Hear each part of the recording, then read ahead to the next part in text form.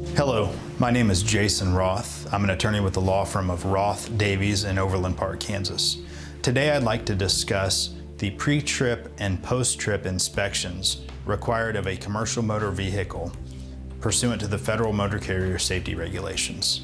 The safety regulations place certain responsibilities on both the employer and driver to verify that a commercial motor vehicle operated on the highways are in good working order. These include pre-trip and post-trip inspections.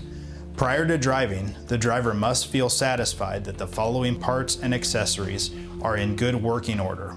The service brakes, including trailer brake connections, the parking or handbrake, the steering mechanisms, lighting devices and reflectors, tires, horn, windshield wipers, rear view mirrors, and coupling devices.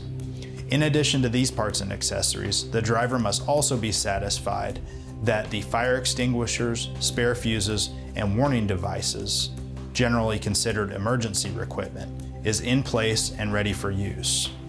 Prior to driving, the driver must make sure that the vehicle cargo is properly distributed and secured all doors, tires, and tailgates are secured, and the cargo does not obscure the driver's view.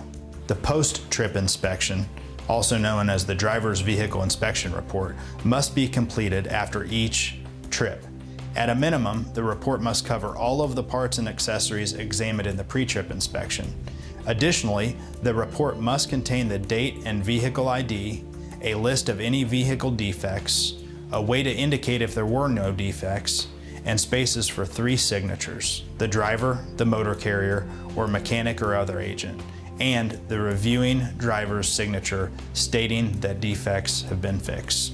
If you have any questions regarding the pre-trip or post-trip inspections required of a commercial motor vehicle, please feel free to call 913-451-9500. Thank you.